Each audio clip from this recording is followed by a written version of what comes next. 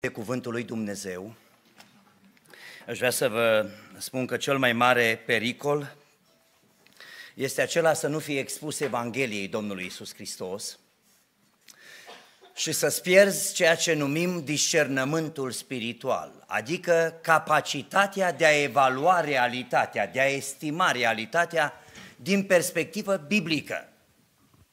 Uh, nu trebuie dramă mai mare decât să ajungi în incapacitatea de a estima corect realitatea.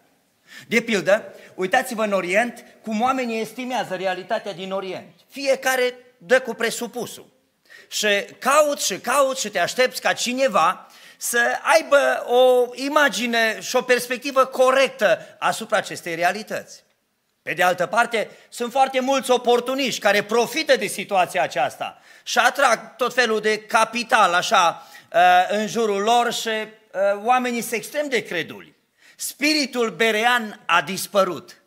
Dacă v-aș întreba pe cei ce predicați în adunarea asta, când vă opri cineva din biserică, un frate, oricare dintre ei, să spună, știi, ai făcut afirmația asta, ai putea să mai aduci câteva argumente, că mi se pare că ideea asta nu e cea mai sănătoasă. Nimeni nu te întreabă. Toată lumea mănâncă ce îi se dă, fără să se întrebe, oare îmi face bine sau rău?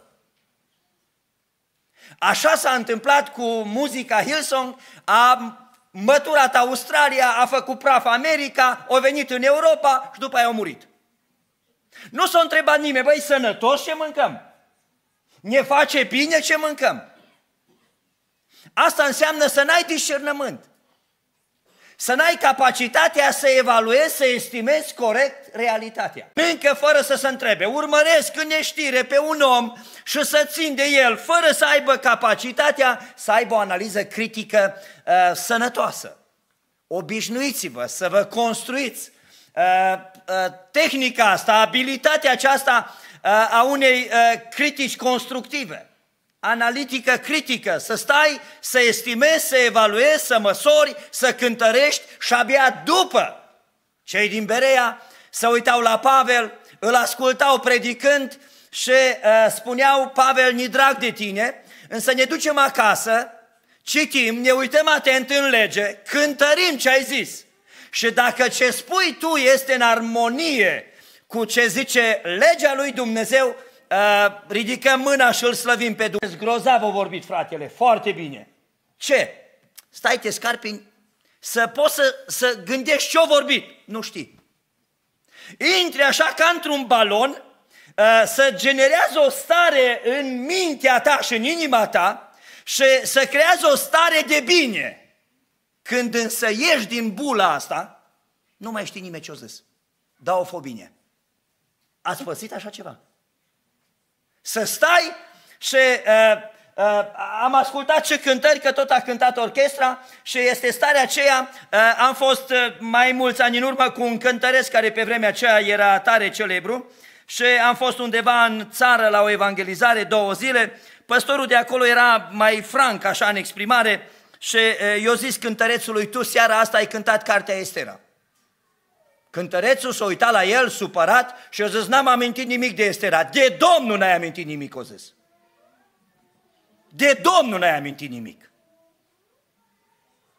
Că asta e cartea Estera. E cântarea aceea în care ne cântăm simțurile. Te-am simțit, m-ai împins, te-am atins, nu știi nimeni pe cine, cine pe cine. Despre cine e vorba. E un soi de Romeo și Julieta. Poți să cânt, cânt sub balcon iubitei tale, cântarea aceea, că n-are niciun impact, n-are, n-are noimă. Nu-i nimic foarte clar articulat. Când însă cânti o cântare de-a lui Niculiță Moldoveanu, de exemplu. Aia, cântarea aceea are o, o primă notă bună pentru că e făcută în lanțuri, nu în șezlong. Deci nu o sta pe plajă și-o veni muza și-o compus o cântare. Nu, o stat era în lanțuri în temniță. Și acolo Duhul Domnului i-a dat o inspirație. Și-a făcut 300 de cântări și toate le-au memorat, versuri, notă și linie melodică. Toate erau în mintea lui. Fără creion, fără hârtie.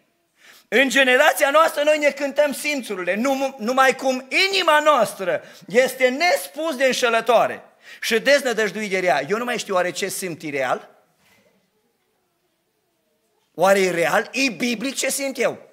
Este stilul acela de cântare uh, care are o aplecare sentimentală, dar uh, este dragostea aceea carnală mai degrabă și nu dragostea aceea sfântă.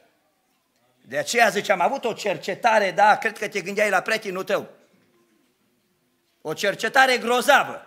Stă așa ca în transă și aparent, dragii mei, niciodată nu m-au încântat formele acestea de manifestare exterioară și întotdeauna am fost foarte atent să cântăresc ce să zice. De altfel, fratele a deschis întâlnirea noastră cu o afirmație de, de, de fundament din Psalmul 95. Dacă ar fi să sintetizez Psalmul 95, aș spune că uh, închinarea noastră este pe măsura Dumnezeului căruia ne închinăm. Adică este o invitație, veniți să ne închinăm înaintea Domnului Făcătorului nostru, să ne plecăm genunchiul. Dar de ce? De ce să cântăm cu veselie? De ce să strigăm cu bucurie? De ce? Pentru că El este un Dumnezeu mare. Din pricina a cine este El. Dacă noi suntem Dumnezeu, începem să ne cântăm nouă. Cum simțim noi, cum suntem noi, nu știu ce simți tu, dar nouă ne place aici. Zâne nouă, cum ne place nouă. De aceea, întâlnirile, dragii mei, de foarte multe ori, uh, vis-a-vis de ce zicea frate Nelo, seara de răscumpărare a vremii, în loc să fie timp câștigat, e timp pierdut.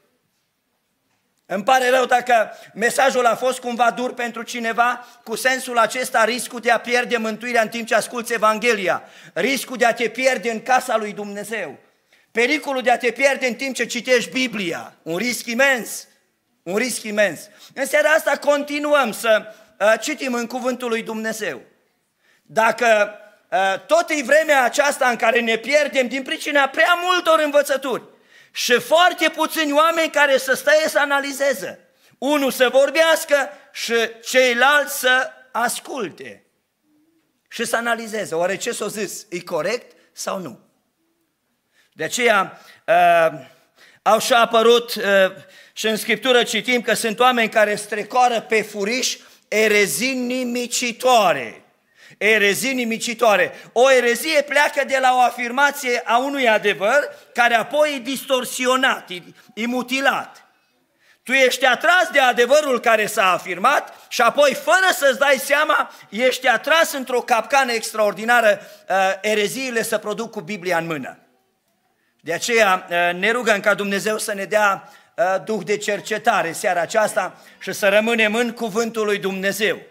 Cine ne socotește cuvântul Domnului, Proverbe 13 cu 13, cine ne socotește cuvântul Domnului să pierde. De aceea Iacov zice, dar cine își adâncește privirea în legea asta desăvârșită a lui Dumnezeu este un om fericit în lucrarea lui. Superficialitatea nu ne face bine. Fugiți de harul ieftin.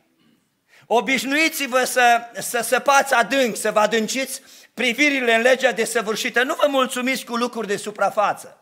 Superficialitatea este cea mai mare boală uh, în societatea noastră, lucruri făcute așa de mântuială, zic românii. Lucruri făcute să fie făcute. Și de aceea uh, am vrea să continuăm să ne uităm în cuvântul Domnului, cu nădejdea că aseară am fost avertizați de Duhul lui Dumnezeu, nu cumva să ne pierdem Uh, în timp ce beneficiem. Nicio altă generație nu a beneficiat de ce beneficiem noi. De atâtea resurse de câte beneficiem noi. Resurse biblice, resurse economice, resurse spirituale, sociale, este o libertate extraordinară încă. Cu toate acestea, tot mai mulți oameni se pierd. Și uh, aseară am spus cel puțin trei motive din, ce, uh, din pricina cărora Felix a pierdut privilegiul care l-a avut ascultându-l pe Apostolul Pavel. În seara aceasta vrem să ne uităm la invitația aceasta și imperativul acesta al pocăinței și haideți să citim împreună un cuvânt în Evanghelia după Luca, capitolul 13. Vă invit să ne ridicăm să-l citim. Evanghelia după Luca, capitolul 13, începând cu versetul 1. În vremea aceea au venit unii și au istorisit lui Isus ce se întâmplase unor galileieni, al căror sânge îl amestecase Pilat cu jerfele lor. Credeți voi, le-a răspuns Iisus, că acești galileieni au fost mai păcătoși decât toți ceilalți galileieni pentru că uh, au pățit astfel? Eu vă spun nu.